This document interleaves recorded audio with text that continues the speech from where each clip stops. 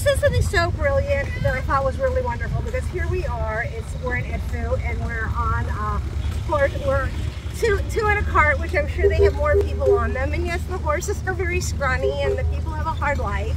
And life is hard. It's not as always as dreamy as it is in the U.S., right? And, yeah, I mean it's right. It's it's important to see all of this, to see everything, so that we can know who we are. Because and you see just the same things in your people all the time. You have no idea. You don't you don't get the riches. I mean, it's it's always a balance of dark and light and, and sadness and happiness. And, yeah. It is. It's and they're pooping and it's kind of smelly and yeah, I dig it.